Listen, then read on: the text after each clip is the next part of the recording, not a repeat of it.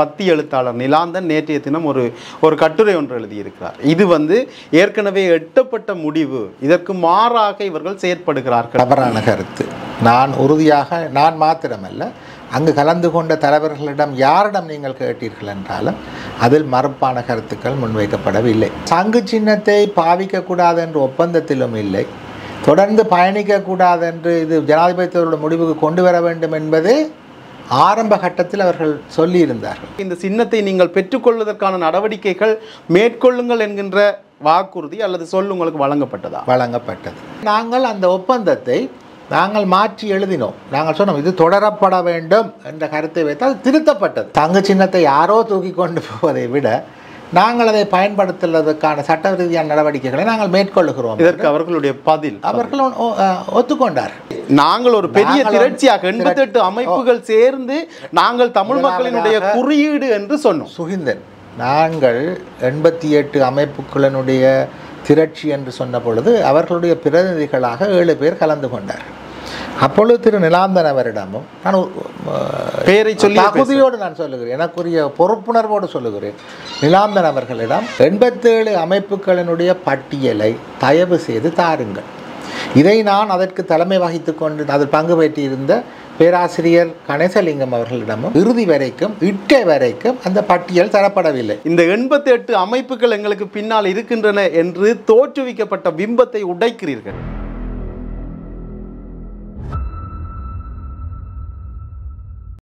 Jaffna gallery நேயர்களுக்கு வணக்கம். மற்றொரு பிரம்மாஸ்திரம் நிகழ்ச்சியூடாக உங்களை சந்திப்பதில் மகிழ்ச்சி.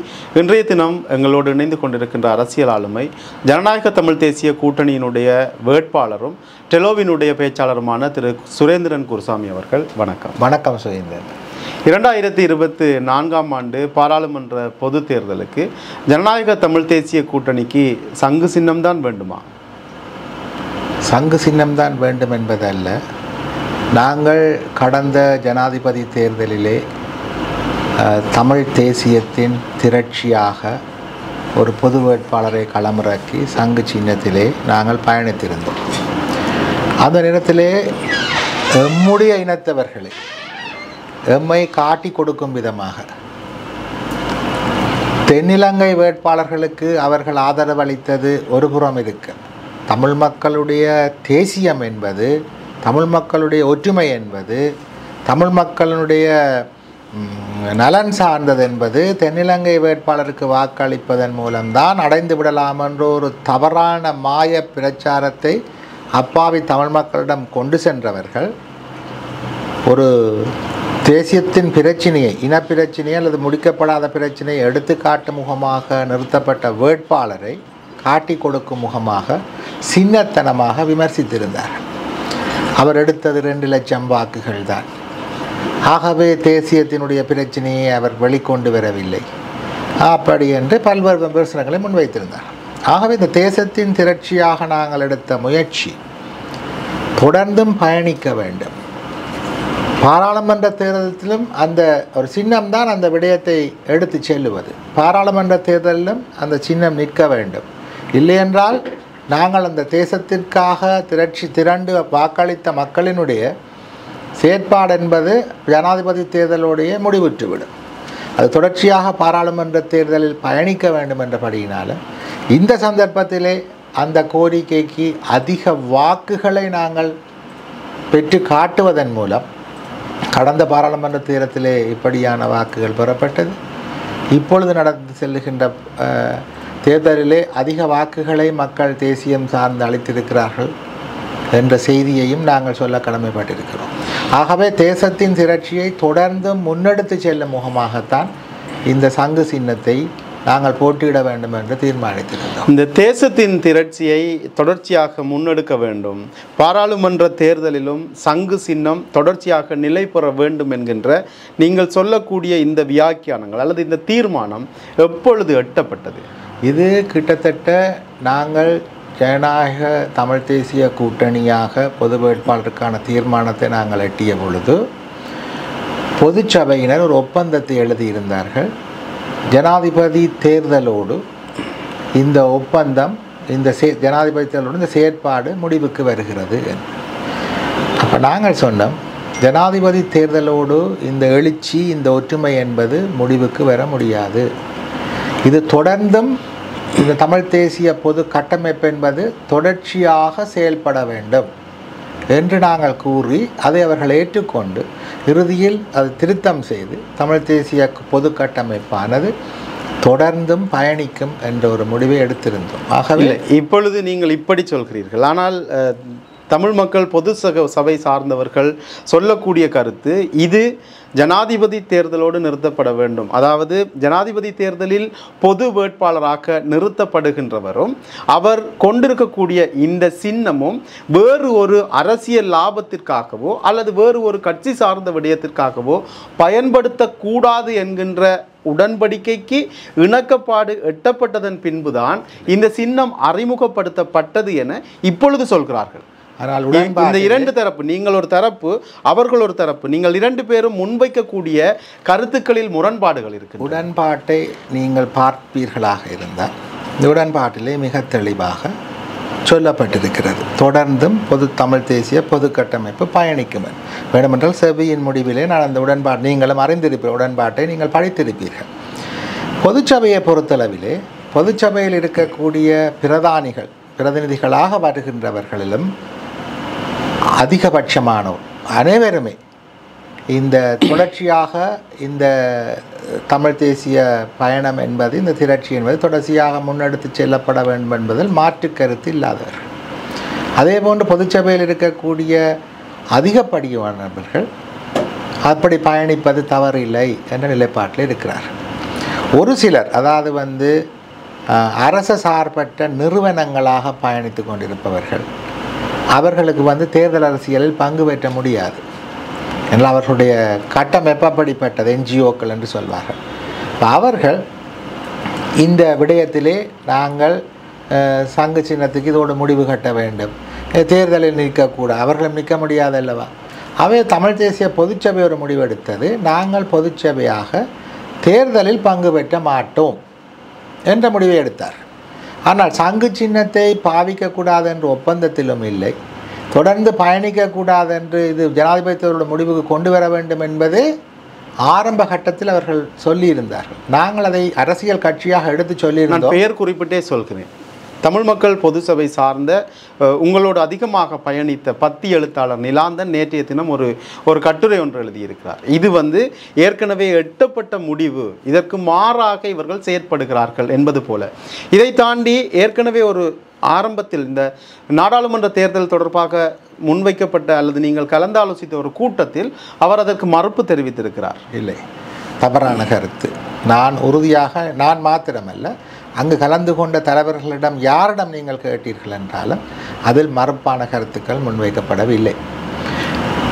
நாங்கள் நாங்கள் நாங்கள் நாடாளுமன்ற தேர்தலில் பங்கெடுக்க போவதில்லை என்கின்ற வெளியேற்றத்தை அவர்கள் அறிவித்திருக்கிறார்கள். ஆனால் சங்கு சின்னம் பயன்படுத்தப்படுவது தொடர்பாக கேள்வி எழுப்பப்பட்ட போது நாங்கள் பயன்படுத்த போவது நாங்கள் பங்கெடுக்க போவதில்லை. ஆனால் இதை பயன்படுத்துவது தொடர்பாக தீர்மானிப்பதற்கு எங்களுக்கு ஒரு சில நாட்கள் வேண்டும்.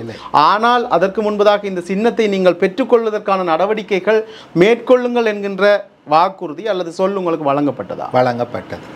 அதாவது நாங்கள் ஜனநாயக இந்த முதலாவது கேள்விக்கு நான் வருகிறேன். ஒப்பந்தத்தின் ஆரம்பத்திலே இது ஜனாதிபதி தேர்தலோடு நின்றுவிட வேண்டும் என்ற ஒரு கருத்தை முன்வைத்திருந்தார்கள்.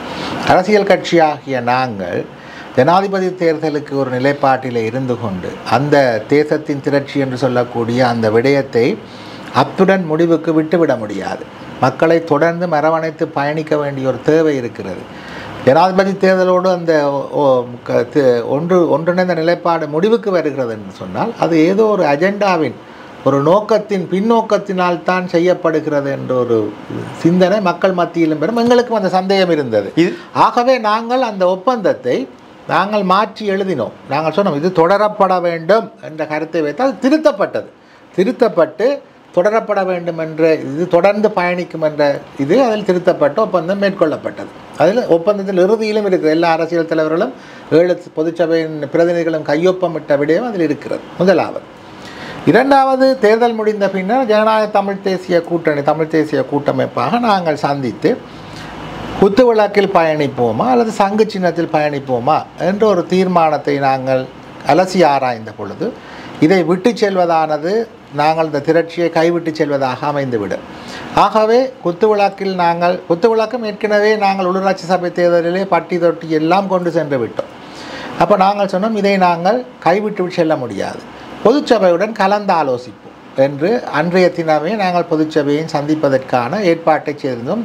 கிழக்கு மாகாணத்தில் இருக்கின்ற உறுப்பினர்களுக்கு வர முடியாததினாலே நாங்கள் அடுத்த நாள் அந்த சந்திப்பை மேற்கொண்டிருந்தோம். அந்த சந்திப்பிலே கலந்து கொண்ட பொழுது நாங்கள் சொன்னோம் ஜனநாயக தமிழ் தேசிய கூட்டணி சங்கு சின்னத்திலே நாங்கள் தேர்தலை எதிர்கொள்வது சம்பந்தமாக தமிழ் தேசிய பொது கட்டமைப்பாக நாங்கள் பயணிக்க விரும்புகிறோம் என்ற கோரிக்கையை முன்வைத்தோம். அவர்கள் சொன்னார்கள் தமிழ் தேசிய பொது கட்டமைப்பாக நீங்கள் பயணிக்கின்ற பொழுது தமிழ் தேசிய பொது சபையாக நாங்கள் தேர்தலிலே பங்கு பெற்ற மாட்டோம். இது அவர்களினுடைய. நிலைப்பாடு. தமிழ் தேசிய பொதுச்சபை தேர்தலில் பங்கு பெற்றாது. அந்த பொதுச்சபையில் இருக்கின்ற எவராவது தேர்தலில் பங்கு பெற்றுவதாக இருந்தால் பொதுச்சபையை விட்டு வெளியேறி அவர்கள் தேர்தலில் பங்கு பெற்றலாம் அதை தாண்டி தேர்தல் சம்பந்தமான விடயங்கள் நேரடி தேர்தலில் பங்கு பெற்றாவிட்டால் கூட ஜனாதிபதி வேட்பாளராக வராதவர்கள் அதன் பிரச்சாரத்தில் பங்கு பெற்றினார்கள் அதற்கான கட்டுரைகள் எழுதினார்கள். எல் அப்படியான அரசியல் சம்பந்தமான வேலை திட்டத்தில் நாங்கள் பங்கு பெற்றுவதாக இருந்தால் பொதுச்சபை தேர்தலில் பங்கு பெற்றாவிட்டாலும் அதற்கான பிரச்சார நடவடிக்கைகள் மற்ற விடயங்களில் பங்கு பெற்றுவதாக இருந்தால் நாங்கள் பொதுச்சபையுடன் கலந்து ஆலோசித்து அதை சொல்லுகிறோம். அப்பொழுது நாங்கள் கோரிக்கை வைத்தோம் தேர்தல் விதிமுறைகளின்படி ஒரு வார காலத்துக்குள் அந்த சின்னத்தை நாங்கள் மாற்ற வேண்டும். இல்லை என்றால் சிரமமாகிவிடும். ஆகவே அதை மாற்றுவதற்கான சட்ட ரீதியான நடவடிக்கைகளை நாங்கள் மேற்கொள்ளுகிறோம். ஒன்று அதை ஜனநாயக தமிழ் தேசிய கூட்டமைப்பின் சின்னமாக அந்த கட்சியினுடைய சின்னமாக அதை மாற்றிக்கொள்ள வேண்டும்.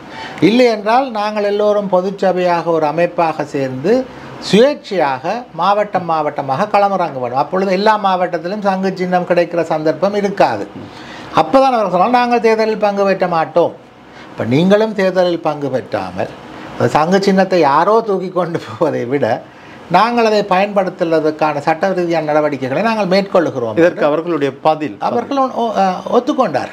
அதில் ஒரு சில கட்சிகளைச் சேர்ந்தவர்கள் ஆசன பங்கீடு கூட செய்தார்கள் பின்னர் அதில் வெளி அது தீர்மானங்களை மாற்றிக்கொண்ட அரசியல் கட்சியின் பிரதிநிதிகள் கூட அந்த கூட்டம் முடிந்த பின்னர் ஆசன பங்கிட நாங்கள் தேர்தலில் மற்ற விடயங்கள் சம்பந்தமாக பங்கு பெற்றுவதற்கு நாங்கள் பொதுச்சபையிடம் நாங்கள் அனுமதி பெற்று பங்கு பெற்றோம். அதற்கு எங்களிடம் சில கோரிக்கைகள் இருக்கின்றன. உங்களுக்காக இப்போ தேர்தல் விளம்பர் தேர்தல் விடயங்களில் மேடை ஏறுவதா அது சம்பந்தமாக எங்களுக்காக அவர்கள் சென்று வாக்கு கேட்பதா என்ற விடயங்களிலே சில கோரிக்கைகளை முன்வைத்திருந்தார்கள். அதை ஒரு புறம் வைத்து விடுவோம். ஆகவே நாங்கள் ஏன் பொதுச்சபையை கூப்பிட்டு பேச வேண்டும்? நாங்களே சங்க சின்னத்தை தீர்மானம் எடுத்துவிட்டு மாற்றி என்ன? தேர்தல் ஆணையத்துக்கு சொந்தமானது சங்க சின்னம். இல்லை அதை அவர்களும் மறுக்கவில்லை. இதில் அவர்களால் சொல்லப்படக்கூடிய விடயம் என்னவென்றால் இப்படி ஒரு இணக்கப்பாடு எட்டப்பட்டு ஜனாதிபதி தேர்தல் எதிர்கொள்ளப்பட்ட பின்னர் ஒரு கட்சி சார்ந்த சின்னமாக அல்லது கட்சி சார்ந்த ஒரு குறியீடாக சங்கு சின்னம் மாற்றப்படுகிறது. இதனை எதிர்ப்பதற்கான சட்ட வலு எங்களிடம் இல்லை. ஆனால் தார்மீக வலு ஒன்று இருக்கிறது. இதனை அவர்கள் பயன்படுத்துவது குறித்து அவர்கள் தான் சிந்திக்க வேண்டும் என்கிறார்கள். என்னுடைய கேள்வி ஏழு கட்சிகள் தமிழ் மக்கள் பொதுச்சபை அதை எல்லாவற்றுமாக சேர்ந்து ஏறக்குறைய எண்பத்தி எட்டு அமைப்புகள் என்று சொல்லப்பட்டது. இந்த எண்பத்தி எட்டு அமைப்புகளிலும் இப்பொழுது சி வி விக்னேஸ்வரன் தனியாக சென்று விட்டார். தமிழ் மக்கள் பொதுச்சபை சபை இந்த தேர்தலில் நேரடியாக பங்கெடுக்கவில்லை. ஐங்கர் நேசன் தலைமையிலான கட்சி இந்த தேர்தலில் உங்களோடு கரம் கோர்க்கவில்லை என்கின்ற பொழுது ஒரு பெரிய திரட்சியாக பயன்படுத்தப்பட்ட இந்த சங்கு சின்னத்தை த ஜனநாயக தமிழ் தேசிய கூட்டணி மட்டும் அபகரித்துக் கொள்வது ஜனநாயகமா? இது ஒரு அறமா என்று கேட்கிறேன். இல்லை அப இதை எப்படி அபக அபகரித்து கொண்டோம் என்று நீங்கள் எப்படி சொல்ல முடியும்? இல்லை நாங்கள் ஒரு பெரிய திரட்சியாக எண்பத்தி எட்டு அமைப்புகள் சேர்ந்து நாங்கள் தமிழ் மக்களினுடைய குறியீடு என்று சொன்னோம். சுகிந்தன் நாங்கள் எண்பத்தி எட்டு அமைப்புகளினுடைய திரட்சி என்று சொன்ன பொழுது அவர்களுடைய பிரதிநிதிகளாக ஏழு பேர் கலந்து கொண்டார். அப்பொழுது திரு நிலாந்தன் அவரிடமும் நான் பெயரை சொல்லி தகுதியோடு நான் சொல்லுகிறேன் எனக்குரிய பொறுப்புணர்வோடு சொல்லுகிறேன். நிலாந்தன் அவர்களிடம் நான் அந்த எண்பத்தி ஏழு அமைப்புகள் என்று சொல்லுகின்ற பொழுது அவர்களுடைய பெயர் பட்டியல் அவர்களுடைய இணையவழி email address mobile number detail எல்லாத்தையும் தாங்குவோம் ஏனென்றால் நாங்கள் ஒரு குரூப்பாக ஒரு தொலை நகலை ஏற்படுத்தி கொள்ளுவோம். என்றால் நான் கட்சிகளின் ஒருங்கிணைப்பாளராக இன்றும் பணியாற்றி கொண்டிருப்பவர். அந்த கட்சிகளுடைய பிரதிநிதிகளை வாய் வார்த்தையால் மாத்திரம் நான் பேசுவது கிடையாது. அவர்கள் எல்லோருக்கும் தொலைநகல்களை அனுப்பி அவர்கள் அனுப்புகின்ற அதற்காக ஒரு பொறிமுறையை பொறிமுறையை கையாளுகிறேன் நான். நான் சொன்னேன் உங்களுக்கு அந்த பொறிமுறை பழக்கம் இல்லை. வாயாலே பேசிவிட்டு நாளைக்கு வந்து இல்லை என்றும் சொல்லலாம். ஆம் என்றும் சொல்லலாம். அல்லது நீங்கள் பிரதிநிதிகளாக இருப்பவர்கள் நாளைக்கு இந்த எண்பத்தி ஏழு அமைப்பிலே ஒரு நாலு அமைப்பினுடைய கதையை கேட்டுக்கொண்டு நீங்கள் அப்படி இல்லை இப்படி இல்லை என்றும் சொல்லலாம். ஆகவே இதுகளை தவித்துக் கொள்வதற்காக எண்பத்தேழு அமைப்புகளினுடைய பட்டியலை தயவு செய்து தாருங்கள். இதை நான் அதற்கு தலைமை வகித்து கொண்டு அதில் பங்கு பெற்றிருந்த பேராசிரியர் கணேசலிங்கம் அவர்களிடமும் நான் நேரடியாக தொலைபேசியிலே நான் அழைத்து கேட்டேன் ஐயா இந்த எண்பத்தி ஏழு அமைப்பு கொண்ட பேரை தாருங்கள். நீங்கள் ஏழு பேர் பிரதிநிதிகளாக இருக்கிறீர்கள். ஒரு விமர்சனம் வருகிறது. இந்த ஏழு பேர்தான் பொதுச்சபை இவர்கள் பின்னால் யாரும் இல்லை என்ற ஒரு விமர்சனம் வருகிறது. நாங்கள் அதை ஏற்றுக்கொள்ளவில்லை. ஆனால் எங்களுக்கு அதை நீங்கள் பட்டியலை தருவீர்களாக இருந்தால் அவர்களோடும் எடுக்கக்கூடிய முடிவுகள் சம்பந்தமாக பொது வேட்பாளர் நிறுத்துவதோடு கடமை முடியாதே பிரச்சாரம் செய்து கொண்டு போகின்ற பொழுது பல்வேறு விமர்சனங்கள் பாறுபட்ட முடிவுகள் எடுக்க வேண்டிய தேவை வரும். அரசு தரப்பிலிருந்து பேச்சுவார்த்தைக்கு அழைக்கிற சந்தர்ப்பங்கள் வரும். சில சிக்கல்கள் ஏற்படும். அவை இந்த பொதுச்சபையோடு ஒரு தொடர்பாடுகின்ற பொறிமுறையை நாங்கள் ஏற்படுத்தி கொள்ளுவோம். உங்களுக்கும் சிக்கலாக இருக்காது எங்களுக்கும் சிக்கலாக இருக்காது என்று நாங்கள் நேரடியாக கூறிய பொழுதும் இறுதி வரைக்கும் இட்டை வரைக்கும் அந்த பட்டியல் தரப்படவில்லை. உங்களுக்கு இந்த பதிலினுடைய பாரதூரத்தை சொல்கிறேன். நீங்கள் இந்த எண்பத்தி எட்டு அமைப்புகள் எங்களுக்கு பின்னால் இருக்கின்றன என்று தோற்றுவிக்கப்பட்ட பிம்பத்தை உடைக்கிறீர்கள். இல்லை உடைக்கவில்லை. நான் அதை ஏற்றுக்கொள்ளுகிறேன். நான் கேட்கிறேன் என்று சொன்னால் அவர்களிடம் அந்த எண்பத்தெட்டு அமைப்புகள் இருந்தது. இல்லை என்று நான் சொல்லவில்லை. வவுனியாவில் நடந்த கூட்டம் மட்டக்களப்பிலே நடந்தது. நாங்களும் அதில் கலந்து கொண்டிருந்தோம். ஆனால் நாங்கள் கேட்டது என்னென்று சொன்னால் இந்த தேர்தல் முடிந்த பின்னரோ தேர்தல் இறுதி கட்டத்திலேயோ தொடர்பாடலை நாங்களும் மேற்கொள்வதற்கு ஏழு பிரதிநிதிகள் வந்தார்கள் பேசினார்கள். அவர்களுடைய இணக்கப்பாட்டை எட்டினோம். இப்பொழுது நாங்கள் பிரதிநிதிகள் சொல்வதை நீங்கள் கேட்கக்கூட ஒப்பந்தம் செய்தோம் பிரதிநிதிகளிடம். அதற்கு பின்னர் கருத்து பரிமாற்றம் செய்து கொண்டோம் பிரதிநிதிகளிடம். எல்லாம் செய்த பின்னர் இறுதியில் இந்த சங்கு சின்னம் பற்றி அவர்களோடு நாங்கள் கலந்துரையாடிய பின்னர் அவர்களுடைய இணக்கப்பாட்டையும் நாங்கள் பெற்றுக்கொண்ட பின்னர் இல்லை இல்லை இப்பொழுது பிரதிநிதிகள் இதை பேச முடியாது. நாங்கள் அங்கிருக்கக்கூடியவர்களுடைய தான் பேச வேண்டும் என்று ஒரு இக்கட்டான சூழ்நிலையிலே ஒரு ஒரு வார கால அவகாசம் இருக்கின்ற பொழுது சொல்லுகின்ற பொழுது நியாயமான விடயம் அல்ல அது. ஆகவே தான் நான் சொல்லுகிறேன். இதை நாங்கள் சரியான முறையிலே அதில் எண்பத்தேழு பேர் இல்லை என்று நான் சொல்லவில்லை. இருப்பவர்களை நீங்கள் பட்டியலிட்டு நாங்கள் அதை சரியான தொடர்பாடல் பொறிமுறை ஒன்றை நாங்கள் ஆரம்பித்திருப்போமாக இருந்தால் கட்சிகளுக்கும் அது டிரான்ஸ்பரண்ட் என்று சொல்வார் வெளிப்படையாக இருந்திருக்கும். நாங்கள் அவர்களை வெளிப்படையாக அழைத்து பிரதிநிதிகளை பேசியிருந்தோம். இந்த பிம்பத்தினுடைய குலைவு தொடர்பாக நான் சொல்வதற்கு காரணம் இரண்டரை லட்சம் மக்களினுடைய நம்பிக்கையை வாக்குகளாக பெற்ற பிறகு எங்களுக்குள் ஒரு ஒரு ஒரு ஒருமைப்பாடு இல்லை. எங்களிடம் எங்களுடைய பங்காளிகளினுடைய ஒரு பட்டியல் கூட இல்லை என்று சொல்வது எவ்வளவு தூரம் பட்டியல் எங்களிடம் இல்லை என்று நான் சொல்லவில்லை. இல்லை இந்த உங்களுக்கு இடையில் இருக்கக்கூடிய இந்த முரணை இல்லை பேசுகிறேன். நீங்கள் இதை வந்து ஒரு தவறான திசை திருப்பக்கூடாது. நான் சொன்னது என்னன்னு சொன்னால் இப்படியான தொடர்பாடல் பிரச்சனைகள் வரும். குறிப்பாக ஏழு கட்சிகளும் சேர்ந்து ஒரு பிரதிநிதியை அனுப்பி நாங்கள் ஏழு கட்சிகள் இருக்கிறோம் ஒரு பிரதிநிதி பேசுவார் என்றால் அந்த பிரதிநிதியின் பின்னால் இருக்கக்கூடிய ஏழு கட்சிகள் யார் என்ற ஒரு கேள்வி வரும் அல்லவா அதை நம்பிக்கையின் அடிப்படையில் ஏற்றுக்கொண்டிருந்தால் நாங்களும் கோரியிருந்தோம். இந்த நீங்கள் வெளிப்படைத்தன்மையாக இருக்குமாக இருந்தால் இந்த விடயத்திலே பின்னால் நாங்கள் சில தொடர்பாடலுக்காக தனது கேட்டிருந்தோம் தவிர எண்பத்தேழு அமைப்புகள் இல்லை என்று நாங்கள் சொல்லவில்லை. இல்லை என்றால் நாங்கள் கேட்டே இருக்க மாட்டோம். எண்பத்தேழு அமைப்புகள் இல்லை என்று சொல்லிவிட்டு நாங்கள் போயிருக்கலாம். இப்போ எண்பத்தேழு அமைப்புகள் நாங்கள் அவரோட தொடர்பாடலை மேற்கொண்டிருக்கலாம். அதற்கு பின்னர் பிரச்சனைகள் எழுந்த பொழுது சில பிரச்சனைகள் எழுந்த பொழுது அந்த பொது அமைப்புகள் இருக்கக்கூடிய சில பிரதிநிதிகள் என்னோடு நேரடியாக தொடர்பு கொண்டார்கள் இப்போ நான் சொன்னேன் எனக்கு உண்மையாக தெரியாது. நீங்கள் அந்த அமைப்பில் இருந்து அவர்களோடு இணங்கி வேலை செய்தீர்களா? இல்லையா என்பது கூட எனக்கு தெரியாது. ஆனாலும் பொறுப்போடு நான் பதில் சொல்லி சில விடயங்கள் பிரச்சனைகள் சம்பந்தம் நீங்கள் கேட்ட அதே கேள்விகளை அவர்களும் கேட்டிருந்தார்கள். நான் அவர்களுக்கும் விளக்கம் கூறியிருந்தேன். ஒப்பந்தத்தை அனுப்பி இதில் இப்படித்தான் இருக்கிறது. பேச்சுவார்த்தையில் இப்படி நடந்தது அதனால் இப்போ பொதுச்சபை ஒரு இணக்கப்பாட்டுக்கு வந்திருக்கிறார்கள். நாங்கள் தேர்தலில் பங்கு கொள்ளவில்லை. இது சம்பந்தமான எந்த விமர்சனமான அறிக்கைகளும் அவர்கள் வெளியிடவில்லை. ஆனால் அவர்கள் ஒட்டுமொத்தமாக இன்றைய பத்திரிகையிலே அவர்கள் நாங்கள் தேர்தலில் பங்கு பெற்றவில்லை என்ற செய்தியை சொல்லியிருக்கிறார்கள். இதற்கான எந்த விமர்சனமான ஆனால் தனிப்பட்ட ரீதியில் ஒவ்வொருவரும் நின்று ஒரு ஒரு சிலர் இதற்கு எதிராக அது சங்கு சின்னத்துக்கு எதிராக தமிழ் தேசிய பரப்பில் இருந்த போட்டித்தன்மையோடு இருந்தவர்கள் கூட இதற்கு எதிராக செயல்பட்டார்கள். அதை போன்று தனித்தனியாக ஒரு செயல்படுபவர்களுக்கு நாங்கள் பொறுப்பு கூற முடியாது. ஆனால் பொறுப்போடு இருந்தக்கூடிய அந்த ஏழு பிரதிநிதிகளும் சொன்ன கருத்துக்கள் அந்த அமைப்பினுடைய கருத்துக்களாகவே நாங்கள் ஏற்றுக்கொள்ள ஏற்றுக்கொள்ள வேண்டும். அப்படித்தான் ஏற்றுக்கொண்டு தொடர்ந்து பயணித்தோம்.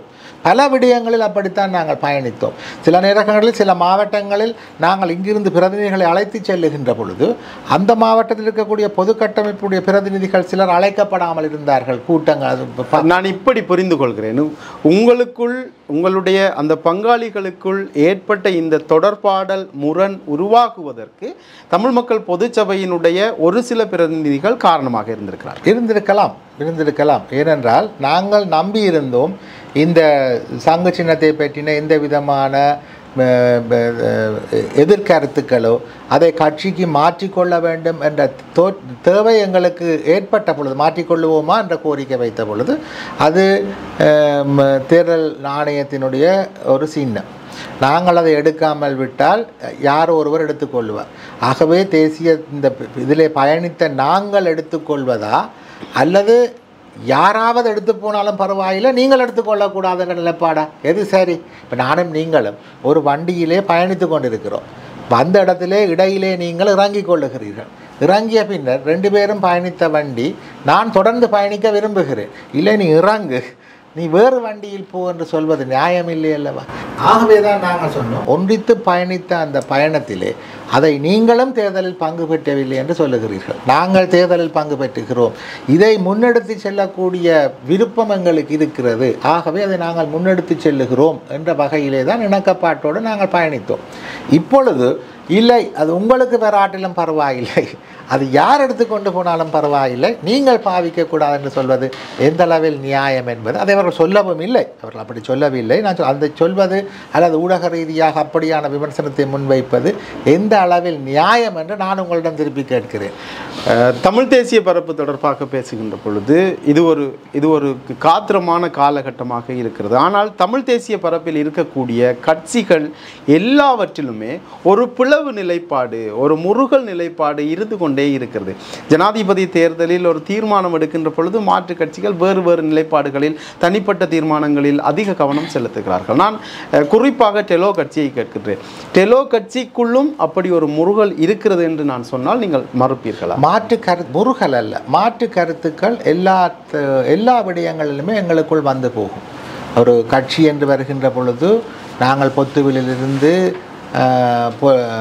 பொலிகண்டி வரை. பொலிகண்டி அல்ல. நெடுந்தீவு வரைக்கும் எங்கள் பிரதிநிதித்துவத்தை பெற்றுக்கொண்ட மிகப்பெரிய ஒரு கட்சி. இந்த கட்சிக்குள்ளே இருக்கக்கூடிய பிரதிநிதிகள் நிச்சயம் இல்லை பல்வேறுபட்ட பிரதிநிதிகள் பல்வேறு விதமான கல்வி தகமைகளோடும் அரசியல் சித்தாந்தங்களோடும் சிந்தனைகளோடும் இருக்கிறார்கள். எங்கள் மத்தியிலே நூற்றுக்கு நூறு வீத கம்யூனிச சிந்தனையோடு இருப்பவர்களும் இருக்கிறார்கள்.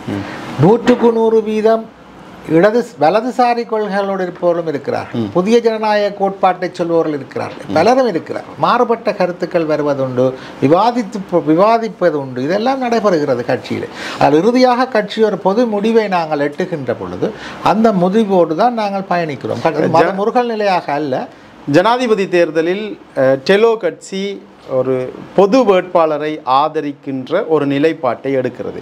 அந்த நிலைப்பாடு நீங்கள் சொன்னது போல பலவிதமான மாற்று கருத்துக்களுடன் கலந்தாலோசிக்கப்பட்டு ஒரு முடிவாக வருகின்ற பொழுது எல்லாரும் எல்லோராலும் ஏற்றுக்கொள்ளப்பட்ட ஒரு முடிவாக இருந்தது என்பது நீங்கள் நம்புகிறீர்களா? எல்லோராலும் அது ஏற்றுக்கொள்ளப்பட்டு தான் முன்னாள் நாடாளுமன்ற உறுப்பினர் வினோ நோதர்லிங்கம் பல இடங்களில் சமூக வலைத்தளங்களில் ஊடகங்களில் என பத்திரிகையாளர் சந்திப்புகளில் என வெட்ட வெளிச்சமாக சொல்லியிருக்கிறார். கட்சி ஒரு நிலைப்பாடு எடுத்தது. ஆனால் அந்த நிலைப்பாட்டை நான் ஏற்றுக்கொள்ளப் போவதில்லை நான் ஏற்றுக்கொள்ளவில்லை என்று சொல்கின்ற பொழுதே உங்களுக்கு தெரிகிறது. ஒரு தனி மனிதனுடைய செயல் செயல்பாடு. அவர் அவரை நீங்கள் அப்படி தனி மனிதனாக எப்படி பார்க்க கட்சியினுடைய நிர்வாகிகளை நீங்கள் எடுத்துக்கொள்ளுகின்ற பொழுது பொதுக்க பொதுக்குழு மத்திய குழு தலைமை குழு என்ற முடிவுகளை எடுக்கின்ற பொழுது ஒட்டுமொத்தமாக அனைவரும் எடுத்த முடிவிலே அவர் அதற்கான மாற்று கருத்தை சொல்லி இருப்பது என்பது கட்சியின் கட்சியிலே அவர் தனிமனிதன் சார்ந்த முரண் நிலைப்பாடு என்று தான் சொல்வேனே தவிர கட்சிக்குள் முரணான நிலைப்பாடுன்னு உங்களுக்கு தெரியும். வினோ நோதர்லிங்கம் அவர்களினுடைய அரசியல் வரலாறு உங்களுக்கு தெரியும். எத்தனை தடவைகள் பாராளுமன்ற உறுப்பினராக. அதாவது வந்து ஒரு கட்சியினுடைய ஒரு ஒரு கட்சியினுடைய மத்திய செயற்குழு ஒரு கூட்டத்தை எடுக்க ஒரு ஒரு தீர்மானத்தை எடுக்க பாராளுமன்ற உறுப்பினரை மாத்திரமல்ல ஒரு கட்சியினுடைய பயணத்தை தீர்மானிப்பது. தமிழீழ விடுதலை இயக்கம் பாராளுமன்ற உறுப்பினர் உறுப்புரிமையே இல்லாமல் இருந்தது. விடுதலை புலிகள் என்றுமே பாராளுமன்ற உறுப்புரிமையை பெற்றுக்கொள்ளாதவர்களாக இருந்தார்கள். அவர்களுக்குள்ளே அப்படி என்றால் அவர்கள் கருத்து சொல்ல உரிமையற்றவர்கள் என்று சொல்லுகிறீர்களா? பாராளுமன்ற உறுப்பினர் ஒரு சொன்னால் கட்சியினுடைய நிலைப்பாடு என்று வருகின்ற பொழுது அந்த கட்சியில் இருக்கக்கூடிய சமகால பாராளுமன்ற உறுப்பினர் ஒருவருடைய கருத்தை புறக்கணிக்க முடியாது? புறக்கணிக்க முடியாது. ஆனால் கட்சி ஒரு முடிவை எடுத்த பின்னர் அவர் அதை புறக்கணிக்கின்ற பொழுது தவறான விடயமாகவே பார்க்கப்படும். அதை வந்து ஒட்டுமொத்த கட்சியில் இருக்கக்கூடிய அனைவரும் அதை எதிர்த்தோ சரி அறவாசி எதிர்த்திருந்தாலோ கூட அதை நாங்கள் கவனத்தில் கொள்ளலாம். ஆனால் தனியொருவர் மீண்டும் மீண்டும் சொல்லுகின்ற பொழுது இல்லை என்னுடைய நிலைப்பாடு இதுதான் என்று அவர் அதற்கு மாற்று கருத்தை சொல்லி கொண்டு வந்தது கட்சியினுடைய ஒரு ஒற்றுமைக்கு குந்தகத்தை அவர் தனக்குத்தானே விளைவித்து கொண்டாரே தவிர ஒட்டுமொத்த கட்சியில் இருப்பவர்களும் அந்த நிலைப்பாட்டை எட்டவில்லை. எனக்கு இந்த விடயம் தொடர்பாக இன்னும் ஒரு கேள்வி இருக்கிறது. ஜனாதிபதி தேர்தலில் பொது வேட்பாளரை ஆதரிப்பது என்கின்ற முடிவை டெலோ எடுத்த பிறகு முன்னாள் ஜனாதிபதி ரணில் விக்ரமசிங்க தமிழ் தேசிய பொது கட்டமைப்பினுடைய பிரதிநிதிகளை சந்திக்க வேண்டும் என்கின்ற ஒரு அறைகூவல் அல்லது அழைப்பு விடுக்கப்பட்டிருந்தது. அதனை ஒரு சிலர் தவிர்த்திருந்தார்கள். குறுகிய கால அழைப்பை அடிப்படையாக கொண்டு நாங்கள் செல்ல முடியாது என்பது போல். ஆனால் டெலோவினுடைய நாடாளுமன்ற உறுப்பினர்கள் நீங்கள் உட்பட பிளட் சார்ந்தவர்கள் மற்றும் ஜனநாயக போராளிகள் கட்சிகளுடைய உறுப்பினர்கள் சிலர் என்பது என அஹ், கொழும்பிற்கு சென்று முன்னாள் ஜனாதிபதி ரணில் விக்ரமசிங்கவை சந்தித்திருந்தீர்கள். இந்த சந்திப்பு முடிந்து வெளியே வந்து ஊடகங்களுக்கு கருத்து தெரிவிக்கின்ற பொழுது திரு. சுரேந்திரன் குருசாமி அவர்களால் தெரிவிக்கப்பட்ட ஒரு கருத்து தமிழ் மக்களினுடைய நீண்டகால பிரச்சனைக்கு எப்படியாயினும் தீர்வு வழங்குவேன் என ஜனாதிபதி முன்னாள் ஜனாதிபதி ரணில் விக்ரமசிங்க உறுதி அளித்திருக்கிறார் என்பது போல பெரும் நம்பிக்கையோடு அந்த வாக்குறுதிகளை நீங்கள் கொடுத்திருந்தீர்கள். அவர் சொன்ன வாக்குறுதிகளை ஊடகங்களுக்கு தெரிவித்திருந்தீர்கள். உண்மையிலேயே முன்னாள் ஜனாதிபதி ரணில் விக்ரமசிங்க அவர்களினால் தெரிவிக்கப்பட்ட அந்த வாக்குறுதிகளை நீங்கள் அந்த சந்தர்ப்பத்தில் முழுமையாக நம்பினீர்களா? நாங்கள் ரணில் விக்ரமசிங்க மாத்திரமல்ல. சஜித் பிரேமதாசா அவர்களையும் சந்தித்திருந்தோம். அனுரகுமார திசாநாயக்க அவர்களையும் சந்தித்திருந்தோம். சரியா? நாங்கள் நான் அந்த நீங்கள் சொல்லிய அந்த வாக்குறுதிகளை நீங்கள் வெளிப்படுத்துகின்ற பொழுது உங்களுடைய வார்த்தைகளில் தொனித்த அந்த நம்பிக்கை பற்றி. சஜித் பிரேமதாசா அவர்களுடைய பேட்டி முடிந்த பின்னரும் அதே கருத்தை தான் நான் தெரிவித்திருந்தேன். அதை நீங்கள் தவிர்த்துவிட்டு இதை முன்னிலைப்படுத்துவது ஏனென்று எனக்கு தெரியவில்லை. இதில் ஒரு குறை காண்பதாக நீங்கள் நம்பினீர்களா இல்லை. நாங்கள் நம்பவே இல்லை. நாங்கள் நம்புவதற்காக அங்கு செல்லவில்லை. சுகிந்த நாங்கள் அங்கு சென்றதனுடைய பிரதான காரணம் ரணில் விக்ரமசிங்க அவர்களை எங்களுடைய கட்சி பாராளுமன்றத்திலே பல தடவைகள் பல தேவைகளுக்காக சந்தித்திருக்கிறது. கல்முனை பிரதேச செயலமாக இருக்கலாம் மீனவர்களுடைய பிரச்சனையாக இருக்கலாம் காணி பிரச்சனையாக இருக்கலாம் காணி விடுவிப்பாக இருக்கலாம் காணாமலாக்கப்பட்டோர் விடயமாக இருக்கலாம் அரசியல் கைதிகள் விடயமாக இருக்கலாம். பல விடயங்களுக்காக நாங்கள் சந்தித்து கொண்டிருக்கிறோம். உதாரணமாக ரெண்டாயிரத்தி இருபத்தி ரெண்டாம் ஆண்டு ஜனாதிபதி ரணில் விக்ரமசிங்க பதவி ஏற்ற பொழுது அவருக்கு அதுக்கு முன்னர் அந்த மூன்று பா ஜனாதிபதி வேட்பாளர்களுக்கும் நாங்கள் பதினோரு அம்சம் அடங்கிய ஒரு கோரிக்கையை முன்வைத்திருந்தோம். அதை அவரும் ஏற்றுக்கொண்டிருந்தார். மூன்று பேரும் ஏற்றுக்கொண்டிருந்தார். அவர் ஜன அதில் அரசியல் கைதிகள் விடுதலை என்பதும் ஒரு விடயமாக இருந்தது. அவர் ஜனாதிபதியாக பதவியேற்றவுடன் அவர் பதவியேற்றதற்கு எதிர்நிலைப்பாட்டை தமிழரசு கட்சி எடுத்திருந்தது. ஆகவே நாங்கள் அழைத்தோம் ஜனாதிபதியை சென்று பார்க்க வேண்டும். எங்களுக்கு பிரதான பிரச்சனைகள் இருக்கிறது. நாங்கள் ஜனாதிபதியை சென்று சந்தித்தோம் தமிழ விடுதலை இயக்கம். அரசியல் கைதிகள் விடுதலையை நாங்கள் அழுத்தினோம். அதிலிருந்து அரசியல் கைதிகள் விடுதலை செய்யப்பட்டார்கள் இன்று முப்பத்தெட்டு பேர் விடுதலை செய்யப்பட்டார்கள். பணியாற்றினோம். அதை ராஜதந்திர சரக்கல் என்று இங்கிருந்து அறிக்கை விட்டார்கள் பலர். ஆனால் நாங்கள் அதை பற்றி கவலைப்படவில்லை. அதுபோன்று அங்கு நாங்கள் பாராளுமன்ற நிக அமர்வுகள் நடைபெற்று கொண்டிருந்த நேரம். ரணில் விக்ரமசிங்க அவர்கள் வேட்பாளராக வருகின்ற பொழுது பாராளுமன்ற பிரதிநிதித்துவமுடைய எங்களிடம் கோரிக்கை விடுத்தார் தமிழீழ விடுதலை இயக்கத்திடமும். சித்தார்த்தன் அவர்களிடமும் புல- புலட் அமைப்பிடமும் உங்கள் கட்சிகளை நான் சந்திக்க விரும்புகிறேன். இது தனிப்பட்ட ரீதியாக அழைக்க அவர் அழைப்பவர் உங்கள் கட்சிகளை நான் சந்திக்க விரும்புகிறேன் என்று. வழக்கமாக சந்திப்பது என்றால் எங்களுடைய தேவைகள் இருக்கும். அவர் எங்களை சந்திக்க அழைக்கிறார் என்றால் அவர் வேட்பாளராக அறிவிக்கப்படவும் இல்லை. வேட்பாளராக அறிவிக்கப்பட போகின்ற சூழ்நிலையிலே எங்களை சந்திக்க முற்படுகிறார் ஜனாதிபதியாக. எதற்காக இருக்கும் என்பதை நாங்கள் சிந்தித்துக்கொண்டு அப்பொழுது நாங்கள் ஒரு கூட்டாக பயணிக்க ஆரம்பித்து விட்டோம். உதாரணமாக ரெண்டாயிரத்தி இருபத்தி மூன்றாம் ஆண்டு ஜனநாயக தமிழ் தேசிய கூட்டணியாக நாங்கள் கூட்டமைப்பை அறிவித்திருந்தோம் ஜனவரி மாதம் பதினாலாம் திகதி. பதினெட்டாம் திகதி இந்தியாவினுடைய வெளியுறவு செயலர் திரு ஜெய்சங்கர் அவர்கள் இலங்கைக்கு வந்திருந்தார். வந்திருந்த பொழுது வழக்கம் போல பாராளுமன்ற பிரதிநிதித்துவம் உள்ள கட்சிகளை அவர் அழைப்பார். அப்பொழுது தெலுவுக்கும் பிளட்டுக்கும் அந்த அழைப்பு வந்திருந்தது. தமிழரசு கட்சி இல்லை நாங்கள் சொன்னோம் எங்களோடு பாராளுமன்ற பிரதிநிதித்துவம் இல்லாவிட்டாலும் கூட சுரேஷ் பிரேமச்சந்திரன் அவர்களையும் ஸ்ரீகாந்த் அவர்களையும் அழைக்க வேண்டும் என்ற கோரிக்கையை நாங்கள் வலியுறுத்தி அவர்களையும் அழைத்து சென்று தான் சந்தித்தோம். ஏன்னா கூட்டாக பயணிக்கின்ற பொழுது தனித்து நாங்கள் அவர்களுக்கு அழைப்பு விட அழைத்து அவர்கள் வரவில்லை என்றால் நாங்கள் சந்தித்தே இருப்போம். என்ன அது நான் அது ஒரு அரசியல் நாகரிகம் அல்லவா? ஜனாதிபதி சந்திக்க வேண்டும் அழைத்த பொழுது நாங்கள் சொன்னோம் நாங்கள் இப்பொழுது ஒரு பொது கட்டமைப்பாக நாங்கள் பயணித்து கொண்டிருக்கிறோம். இந்த நேரத்திலே நாங்கள் ஒரு தனி கட்சியாக வந்து உங்களை சந்திப்பது நாகரிகம் இல்லாத ஒரு செயல். அவர் சொன்னால் நான் கட்சிகளைத்தான் அழைக்கிறேன் இருக்கலாம். ஆனால் நாங்கள் ஒரு பொது வேட்பாளர் என்ற நிலைப்பாட்டுக்கு நாங்கள் வந்துவிட்டோம். ஆகவே அந்த நிலைப்பாடு இருந்து நாங்கள் மாறப்போவதில்லை. நீங்கள் பேச வேண்டிய விடயங்கள் ஏதாவது இருந்தால் அரசியல் தீர்வு சம்பந்தமாகவோ அதையெல்லாம் வைத்துத்தான் பொது வேட்பாளர் நிறுத்தி இருக்கிறோம். ஆகவே நீங்கள் அந்த பொதுச்சபையினரையும் நீங்கள் சேர்த்து அழைக்க வேண்டும் என்று அவருடைய அழைப்பு அங்கு அனுப்பப்பட்டிருந்தது. அதற்கு பொதுச்சபையிலிருந்து இருந்தவர் சொன்னார்கள் நாங்கள் இப்பொழுது இந்த நாமினேஷன் விடயங்களில் நாங்கள் மிகவும் சிரமமான கால இருக்கிறோம். ஆகவே எங்களால் வந்து இப்பொழுது நாங்கள் இந்த நாமினேஷன் கொடுத்ததுக்கு பிறகு வந்து சந்திப்போம் என்று சொல்லியிருந்தார். சந்திக்கத்தானே போகிறார்கள். அப்போ அழைக்கின்ற பொழுது அந்த கதவை நாங்கள் மூடுவது நாகரிகம் இல்லை பாராளுமன்றத்தில் அங்கத்துவம் வகிக்கின்ற கட்சிகள். ஆகவே தான் நாங்கள் சென்று அவரை சந்தித்தோம். அவரை சந்தித்தது மாத்திரமல்ல சஜித் பிரேமதாஸ் அவர்கள் அழைத்தார். அப்பொழுது ஜனாதிபதி விக்ரம் ரணில் விக்ரமசிவன் பல விடயங்களை பேசினோம். பல தடவைகள் சந்தித்திருக்கிறோம். அதெல்லாம் ஊடகத்துக்கு வந்தது இல்லையே. நான் ஊடகத்துக்கு வந்து சொன்னதன் காரணம் எங்களுடைய இனப்பிரச்சனை சம்பந்தமாக அவர் பேசியதோடு ஜனாதிபதி வேட்பாளராக தனக்குரிய ஒரு ஆதரவு நிலப்பாட்டை நாங்கள் வெளிப்படுத்துவோமா என்ற அவரிடம் ஒரு எதிர்பார்ப்பு இருந்தது. அதை மக்களுக்கு தெரிவிக்க வேண்டியது எங்களுடைய கடமை. ஆகவே தான் நாங்கள் ஊடகத்தில் வந்து சொன்னோம் நாங்கள் இப்படி அவருக்கு தெரிவித்திருக்கிறோம். அவர் நிச்சயமாகத்தான் தீர்வு தருவதாக சொல்லுகிறார். ஒரு உறுதியான பாராளுமன்றம் அமையுமாக இருந்தால் அரசியல் தீர்வையும் அதுவரைக்கும் பதிமூன்றாம் திருத்தத்தை முற்றுமுழுதாக நடைமுறைப்படுத்துவேன் என்றும் அவர் தெரிவித்திருந்தார். இதையே தான் சஜித் பிரேமதாசாவும் சொல்லியிருந்தார். ஆனால் நீங்கள் அதை நம்பவில்லை. நாங்கள் நம்ப அதை கருத்தாக ஊடகங்களுக்கு நாங்கள் தொடர்ந்து பொது பொது வேட்பாளரோடு பயணித்திருக்க மாட்டோமே. அவர் சொன்னதை நம்பிவிட்டோம் நீங்கள் பொது வேட்பாளர் கொள்ளையை கைவிட நாங்கள் இல்லையே உறுதியாக நாங்கள் பயணித்தோம்.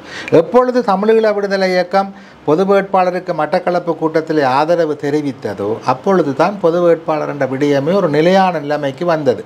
அதற்கு பின்னரும் பொது வேட்பாளர் விடயத்திலே தமிழ் தமிழ விடுதலை இயக்கம் ஒப்பந்தத்திலே கையொப்பமிட்டதுடன் தான் பொது வேட்பாளர்கள் தயாராகினார்கள். சரி தேர்தலில் இறங்கலாமல் ஆகவே எங்களுடைய முடிவுகள் என்பது மக்கள் நலன் சார்ந்ததும் நம்பிக்கை ஊட்டுவதும் உறுதியான முடிவாகவும் இருந்ததை நீங்கள் அவதானித்திருப்பீர்கள். எடுத்த முடிவுகளை நாங்கள் என்றும் பின்வாங்கியது கிடையாது. இந்த பிளவுகளோடு சேர்த்து பார்க்கின்ற பொழுது தமிழரசு கட்சிக்குள் ஒரு ஒரு ஒரு முருகல் நிலை தொடர்ச்சியாக இருந்து கொண்டே இருக்கிறது. இப்பொழுது கூட வேட்பாளர் பட்டியல் வெளியிடப்பட்டதன் பின்னர் இரண்டு பேர் கட்சியினுடைய அனைத்து பொறுப்புகளிலும் இருந்து வெளியேறுகிறேன் என சொல்லியிருக்கிறார்கள். குறிப்பாக முன்னாள் நாடாளுமன்ற உறுப்பினர் மாவை சேனாதிராஜா அல்லது அந்த கட்சியினுடைய மிக முக்கிய பிரதானிகளில் ஒருவரான கே வி தேவராசா உள்ளிட்டவர்கள் எல்லா பொறுப்புகளையும் துறந்திருக்கிறார்கள்.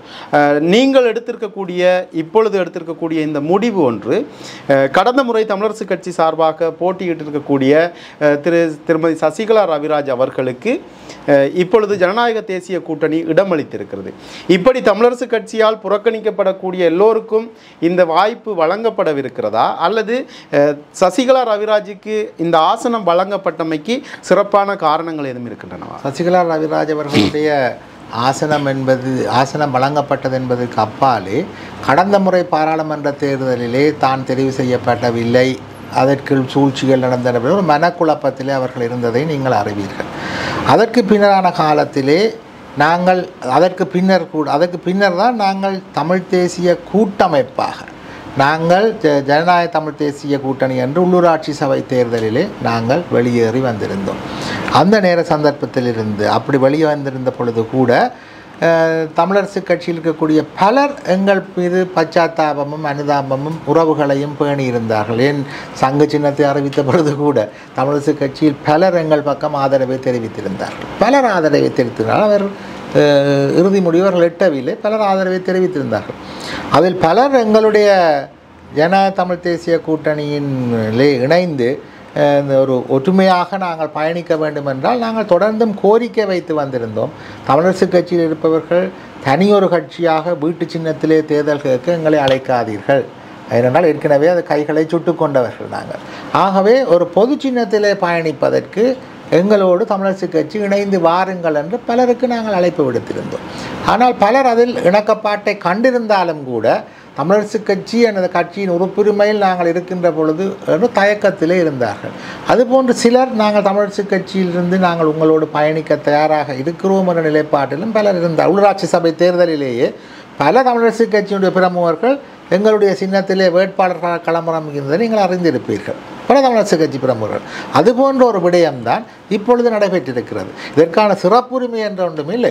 இந்த இடத்திலே நாங்கள் ஒரு வேட்பாளர் எங்களோடு வருவதற்கான சமீட்சையை தந்த பொழுது எங்களிடம் இருந்த இடைவெளியும் இருந்தது. அதன் அடிப்படையில் நாங்கள் உங்களுடைய கட்சி சார்பாக அல்லது உங்களுடைய பிரதிநிதித்துவ கட்சிகள் சார்பாக காலம் காலமாக பணியாற்றி செயலாற்றி வந்திருக்கக்கூடிய பலர் இருந்தபோது கூட தமிழரசு கட்சியில் ஆசனம் வழங்கப்படாத சசிகலா ரவிராஜுக்கு நீங்கள் ஆசனம் வழங்கி இருக்கிறீர்கள் என்பது ஏற்கனவே ஆண்டாண்டு காலமாக உங்களுடைய கட்சிகளுக்காக செயலாற்றி வந்தவர்கள் அவர்களிடமிருந்து ஒரு விமர்சனத்தை தோற்றுவிக்காதா?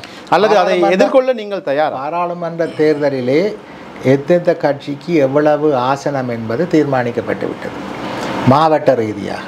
அதே போன்று தமிழ் தேசிய பொது சபையினாலே இன்று தானே அறிக்கை விடுத்திருக்கிறார்கள் நாங்கள் வரவில்லை என்று. தமிழ் தேசிய பொது சபையினாலே யாருடைய பெயராவது முன்மொழியப்பட்டால் அவர்களுக்கான இடைவெளியை நாங்கள் பேணியிருந்தோம். ஆசன பங்கீடுகளில். சரியா? அப்போ இருந்த ஆசனங்களை அவ்வளவு பேரும் பங்கு பெற்றுக்கொள்ளவில்லை பொதுச்சபைக்கான இடைவெளியை நாங்கள் வைத்திருந்தோம் என்றால் அங்கிருந்து பிரதிநிதிகள் வருவதாக இருந்தார்கள். குறிப்பாக சொல்லப்போனால் இன்றைக்கு மட்டக்களப்பு மாவட்டத்தில் இருக்கக்கூடிய ஒரு பிரதானி தமிழ் தேசிய பொது கட்டமைப்பில் இருந்தவர் தமிழ் தேசிய பொதுச்சபையில் இருந்தவர் எங்களுடைய வேட்பாளராக களமிறங்குகிறார்.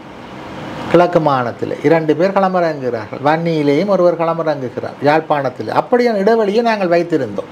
அந்த இடைவெளியிலே தான் ஜனநாயக தமிழ் தேசிய கூட்டணியினுடைய ஒரு வேட்பாளராகத்தான் அவர் வந்தாரே தவிர அதை கட்சியில் இருக்கக்கூடிய எல்லோரும் இணக்கப்பாடு கண்டு எங்களுடைய பொதுக்குழு மாவட்ட குழு எல்லாவற்றிலையும் இணக்கப்பாடு கண்டு ஒரு கட்சிக்கு எத்தனை ஆசனம் ஆசனம் என்பதை பற்றி நாங்கள் ஏற்கனவே முடிவெடுத்திருந்தோம்.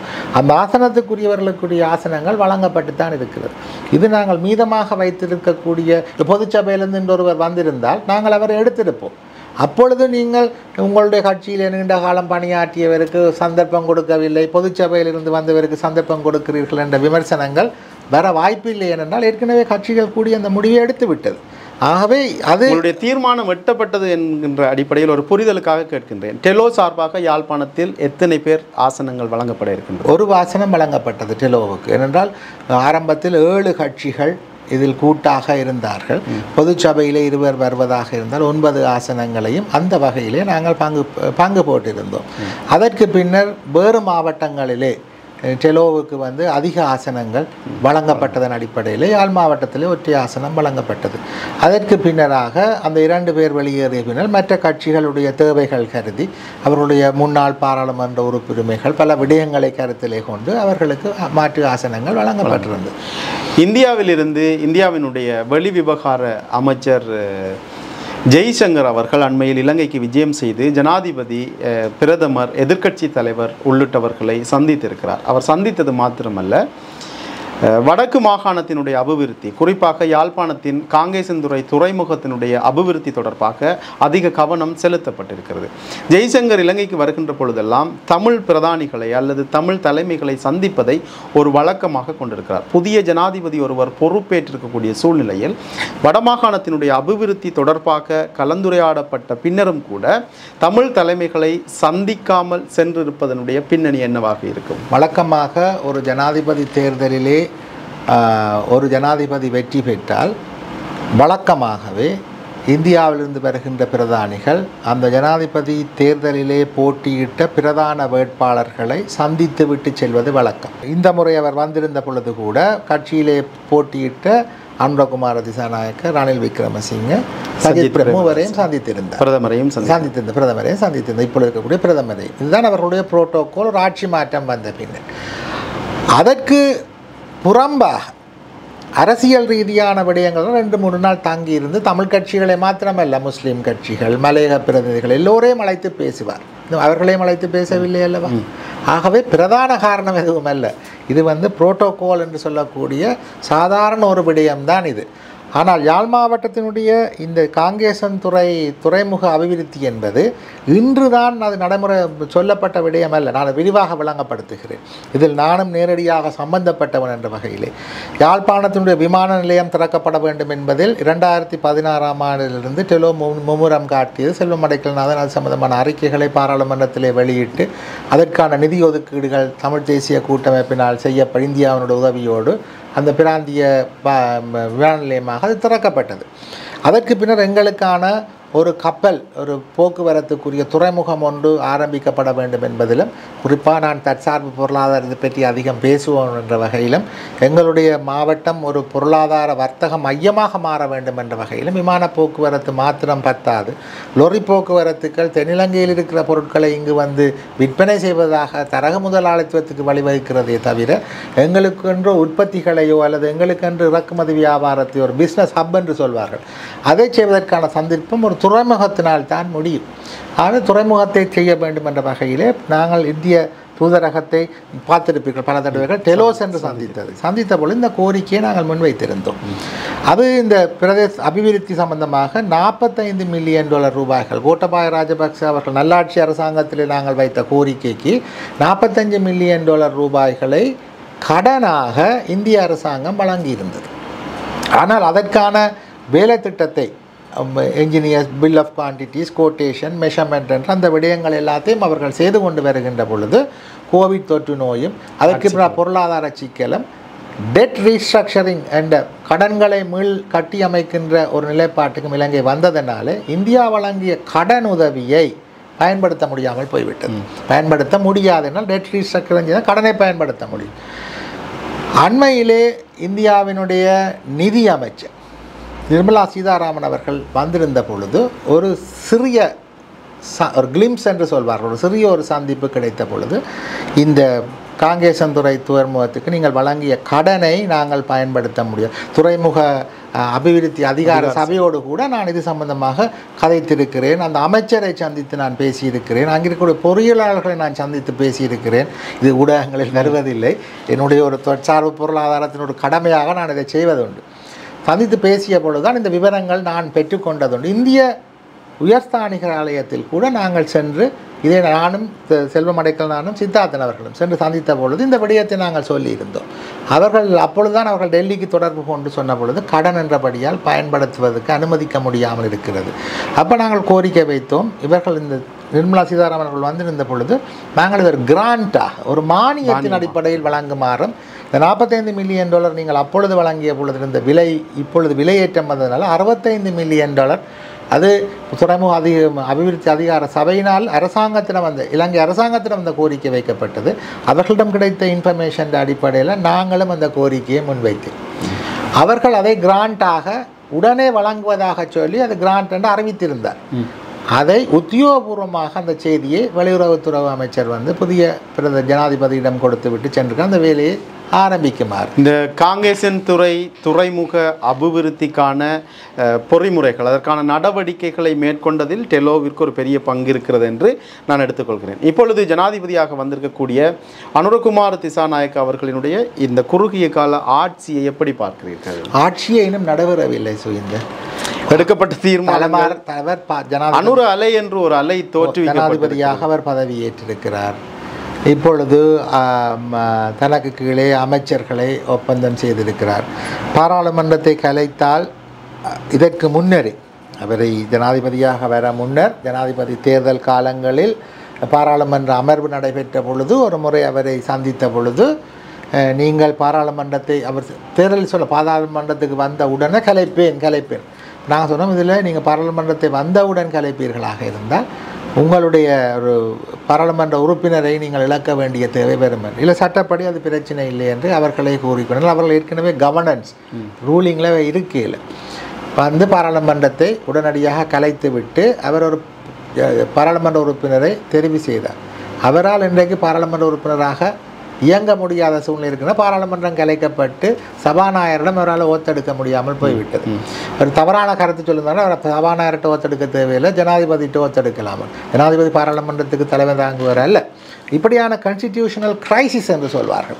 இது கவர்னன்ஸுக்கு புதுசாக வருபவர்கள் விடுகின்ற தவறுகள். ஆகவே அந்த தவறு அதிலேயே ஒரு எங்களுக்கு தெரிகிறது ஒரு பாராளுமன்ற உறுப்பினரை மூன்று ஆசனத்தில் ஒரு ஆசனம் முக்கியமானது. அதனுடைய பதவி பிரமாணத்து வரைக்கும் கூட காத்திருக்க முடியாமல் பாராளுமன்றத்தை கலைத்தது. எவ்வளவுத்துக்கு இந்த கவர்னன்ஸில் அவர்கள் இதுக்கு சட்டங்களுக்குள்ளே எப்படி அவர்கள் பயணிக்க போகிறார்கள் என்ற ஒரு சிக்கல் ஒன்று இருக்கின்றது. ஆகவே அவர்களுடைய ஆரம்பித்திருக்கிறார்கள். நாங்கள் இது ஜனாதிபதியாக அவர் வந்திருக்கிறார். மாற்றங்கள் நிகழும் என்று எதிர்பார்ப்போடு நாங்கள் இருக்கிறோம். ஜனாதிபதி மாறி இருக்கிறார் மாற்றங்கள் இன்னும் நிகழவில்லை. இப்போ கோல் ஃபேஸில் பார்த்தீங்கள் என்றால் வாகனங்கள் கொண்டு வந்து அடுக்கப்பட்டது. அடுத்த நாளே அவர்களுடைய செயலாளர்கள் அந்த வாகனங்களை எடுத்து சென்று விட்டார்கள்.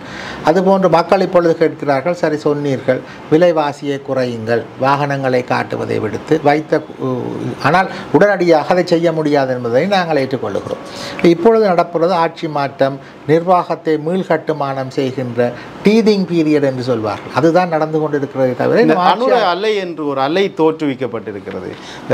ஊழல்வாதிகளை கைது செய்வது இப்படி இப்படியான மாற்றங்களை கொண்டு வருது இவர்கள் இவர்களை எல்லாம் தண்டிப்பது ஈஸ்டர் குற்ற ஈஸ்டர் குண்டுவெடிப்பு குற்றவாளிகளுக்கு தண்டனை வாங்கி கொடுப்பது அரசியல் கைதிகளை விடுதலை செய்வது என்று எங்கு திரும்பினாலும் ஒரு அனுர அலை வீசுகிறது.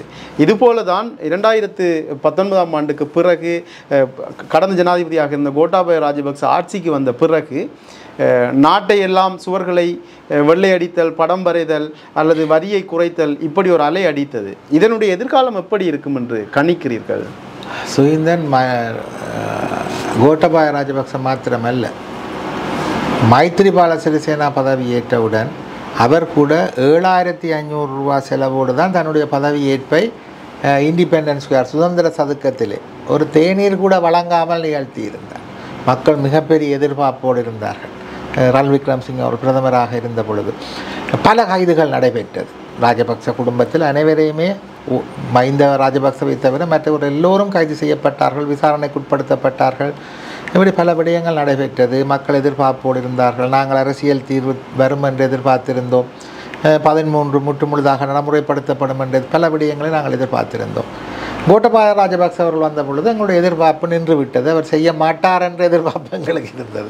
செய்ய மாட்டார் என்று. சிங்கள மக்கள் அவரை பதவிக்கு கொண்டு வந்ததே அவர் ஒரு நிர்வாகியாக. சிறந்த ஆட்சி ஒன்றை அமைத்து ஊழல் குற்றங்கள் அவரும் அதைத்தான் சொன்னார்.